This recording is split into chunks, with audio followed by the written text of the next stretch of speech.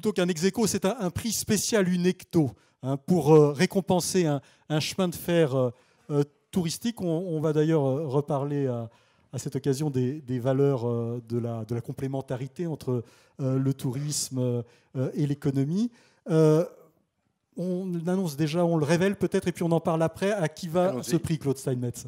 Oui, tout à fait. Donc le prix revient à la région Provence, Alpes, Côte d'Azur.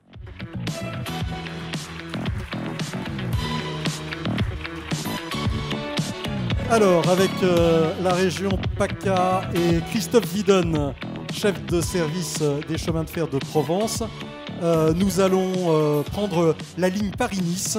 non, Paris-Nice. Non, ça c'est une course de vélo. la, ligne Nice-Digne, euh, dont euh, la région est, concessionnaire et bientôt euh, propriétaire d'ailleurs, à la fois un, outil d'aménagement du territoire et un atout touristique évidemment très fort, notamment avec le magnifique train d'Épingle, adhérent évidemment de, l'UNECTO. la complémentarité, c'est un fait de longue date, me disiez-vous, Christophe Vidon, mais maintenant on la suscite. Cette ligne, en fait, euh, elle, dessert des territoires variés. C'est la métropole niçoise avec des besoins de déplacement du quotidien.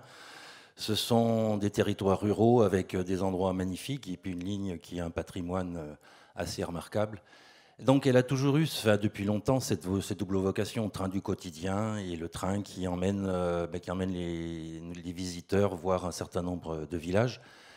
Il y a eu des débats pendant longtemps. Est-ce que c'est un train de service public, un train touristique? C'est un train de service public qui assume sa vocation touristique, qui fait des efforts aussi en direction du tourisme, puisqu'elle offre, euh, on peut offrir euh, un certain nombre de services, notamment l'été, commentaires à bord des trains. Sur certains trains, ça permet aussi aux voyageurs de découvrir ce qui se passe, quelle est l'histoire, quels sont les paysages euh, des territoires traversés. C'est un tourisme qui s'appuie sur des partenariats locaux, euh, puisque la promotion, la promotion des territoires euh, bah, profite au, transport et, réciproquement. C'est quelques réalisations, c'est notamment sur notre euh, site internet et application smartphone où l'information touristique est donnée sur les villages traversés. On ne donne pas que des horaires, c'est le guide du routard des trains d'Épine.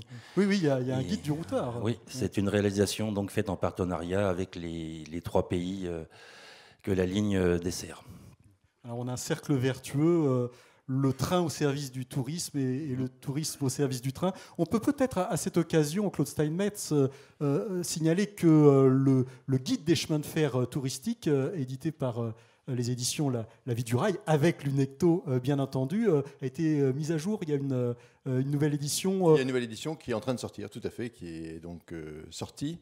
Euh, ce qu'on peut rajouter par contre euh, qui n'a pas été souligné, euh, une particularité, tout à l'heure on était sur le réseau ferré national, je l'ai dire, et là nous ne sommes pas sur le réseau ferré national, ce qui n'est pas neutre du tout, puisqu'il faut savoir que les chemins de fer touristiques opèrent à la fois sur le réseau ferré national, avec toute la réglementation du réseau ferré national, mais également sur le réseau qui est en dehors du réseau ferré national, comme la ligne les euh, chemins de fer de Provence. Voilà, les chemins de fer de Provence, euh, euh, dont la région va devenir propriétaire. Hein. Oui, la région aujourd'hui n'en est, que concessionnaire. La ligne appartient à l'État.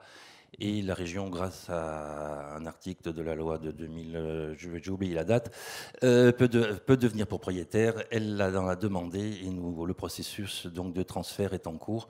Ainsi, la région sera à la fois propriétaire, autorité organisatrice et donc elle a tous les moyens pour mettre en œuvre sa politique de transport et aussi sa politique de développement économique, puisque le tourisme en fait partie du développement économique.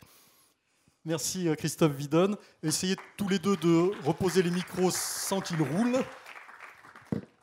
J'y veille en même temps. Claude Steinmetz, euh, vous allez donc euh, remettre le trophée. Christophe Vidon l'a déjà entre les mains. Il l'a déjà pris. Et, le magnum de champagne. Et tous les deux, je vous invite à passer à, à la séance photo avec encore une fois les applaudissements pour saluer la région PACA.